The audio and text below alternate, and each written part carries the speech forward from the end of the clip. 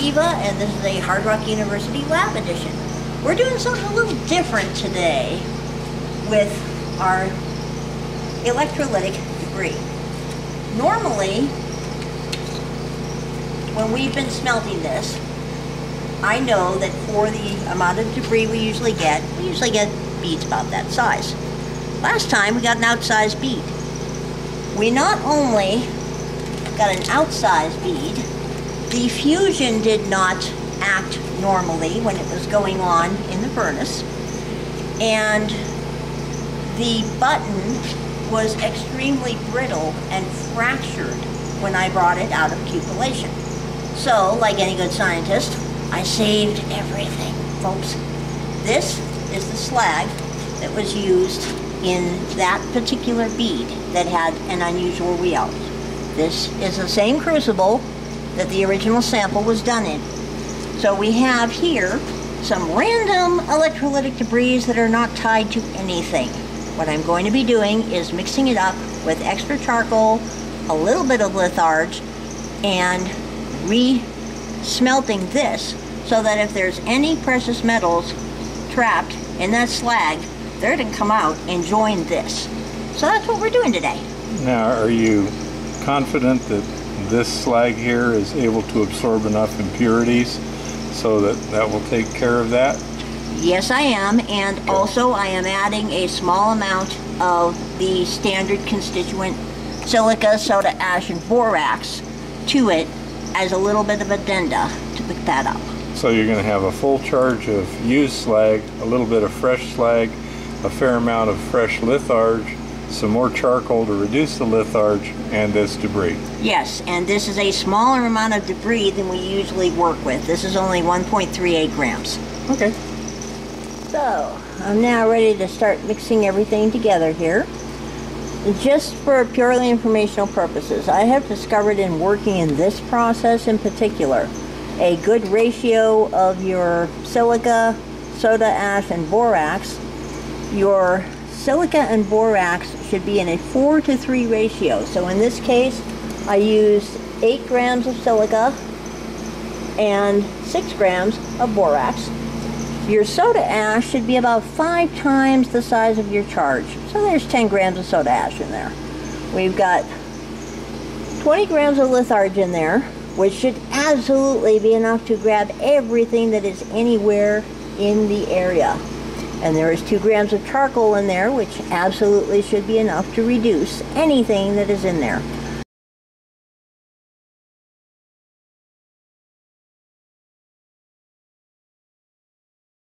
So now we'll combine it together and give it a nice long slow fusion in my trusty furnace.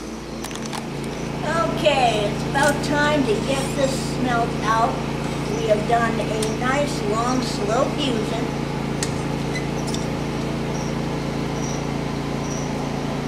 And I just saw the lead button drop.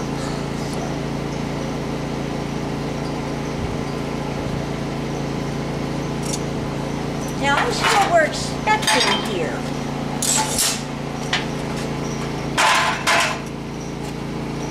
we may get an oversized button because if there was lead present in that slag, there was enough carbon in there to reduce some of it out.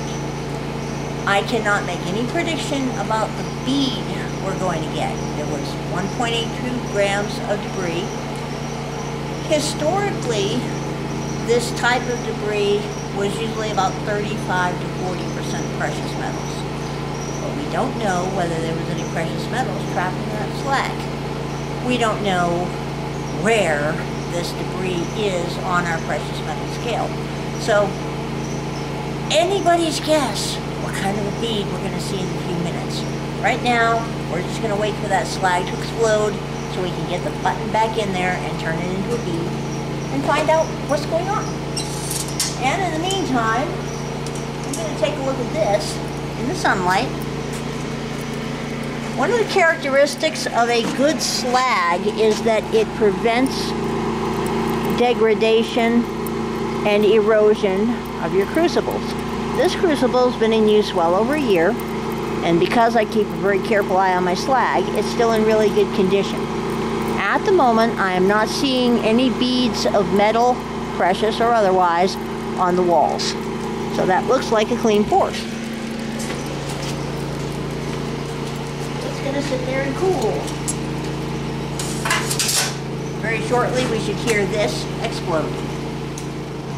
And we got really good separation from the look of things and one very cute little button that we are going to clean and weigh and find out where we are. You can go ahead and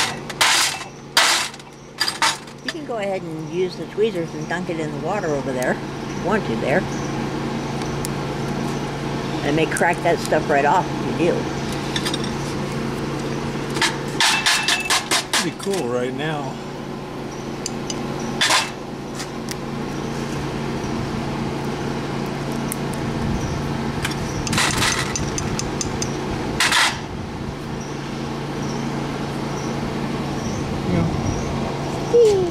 Let's go find out what it weighs. That is our slag. It's going to be weighed in a couple of minutes and all the information put in the records so we can do a mass balance. But if you take a look, you can see this got some beautiful separation and we got feathers and what I like to call radial fractures.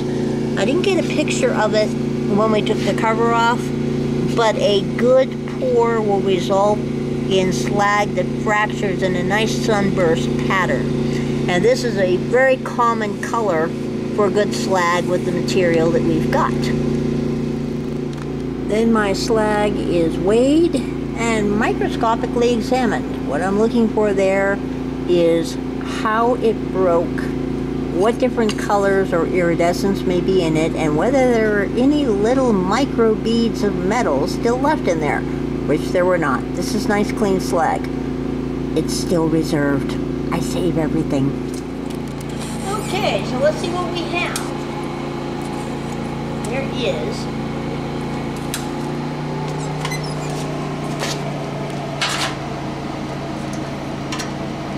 It did not blick. It did not blick. That means it is more than 30% gold. It is yellow in color. It's a really good thing. It is pretty darn big. Just going to quench it off in there so we can touch it. let's go find out what this little bad boy weighs. For this we use the nice scale.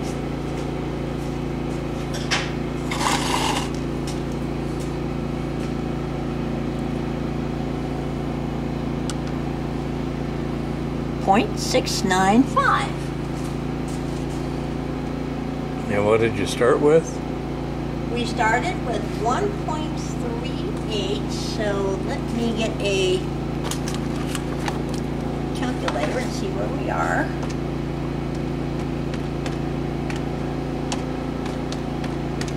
Huh? Hmm, wrong way. Other way. Yeah, I know.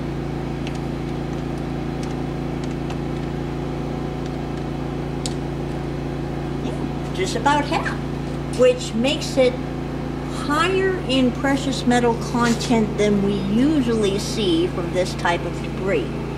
The color is also a brighter yellow than we normally see from this type of debris. We do not know whether any of this was from the last bead we did or it was all from this debris. Either way, it goes in there with all the others. The reason I took the time to do this, you always save everything and whenever you get an anomalous result, if you can try to recover anything you might have missed, it's a good idea to do it. And there have been times when I have recovered some pretty interesting stuff redoing and reprocessing old slag. So that is where we are. You want to finish it? Happy prospecting and keep it safe out there.